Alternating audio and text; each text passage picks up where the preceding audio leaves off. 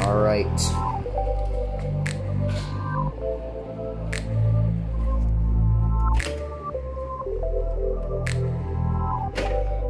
And high drinking fountain.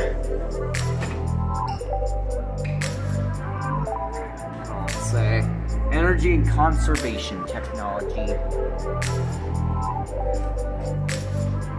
Yeah. Ooh, that's a little low.